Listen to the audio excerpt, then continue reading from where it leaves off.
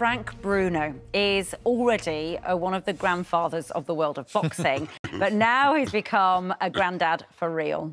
He was ferocious in the ring, but his daughter Rachel says her dad is totally smitten with a new addition to the family, baby Amaya. Grandad, how you doing, man? Not too bad, very well, thank you. It's not often you get upstaged. Yeah, yeah, the little yeah, one's no upstaged problem. you this morning. Gorgeous Hello. little thing, yeah, She's- definitely. And she, she's woken up. She knows she's on telly. Yeah. She's just Yeah. woken up. She's a pro. She's she's a pro. Frank, tell us how you are. I mean, you, you know, when everybody, you know, they said yesterday Frank Bruno's going to be on the show. Everybody that you say that to, their smile comes across their faces. Everybody has um, rooted for you over the years, Yeah. absolutely taken you into their hearts, and you know that, don't I you? don't obviously? just- yeah, you, you right. absolutely are. Um, you look incredibly well, Cheers, and that is you. something that's important to say, isn't it? Because it's Yeah. not always been that way. Definitely, I feel very, very good, right, a good place and very, very happy. What do you put that down to? I, I know clearly Amaya has made a huge difference, but must be other things in your life. Um, go to the gym, go to Champ Leagues, go to Anytime Fitness um, every day. Just keep it real. Watch what incredible, you look at that, I mean, um, yeah, they're from look at those guns, man, look at those they're from Primark. but yeah, try and look after yourself. Take your vitamin tablets. Try to go to bed early.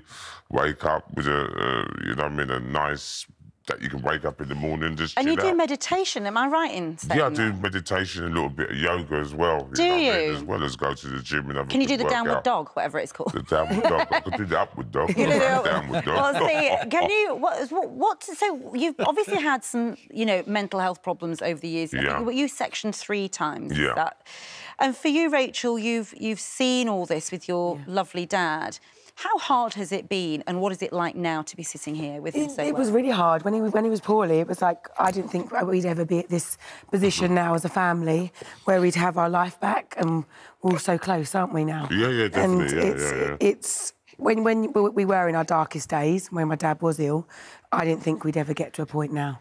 But it's so nice that he's medication free. He's he's keeping up with everything, and he's seen her all the time.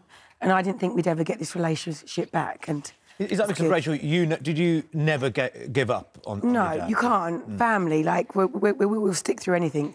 Um, but y there are times where you think I'm going to give up. I don't ever see a light at the end of the tunnel. But actually, it's took a few years, but we've got there. And you say that you're medication free, but that doesn't mean that the mental health problems are gone completely. I think everybody, if they look at themselves in the mirror, they realise sometimes if you get a letter for the letterbox and it doesn't suit your way, and it, you know, I mean, it's de- depression and different things. Everybody goes through a stage in their life yeah. where they go through. Uh, they're going to go through a, a Yeah. ups and downs sort of like day, but yeah, as long as I get up in the morning and breathe, I'm just happy.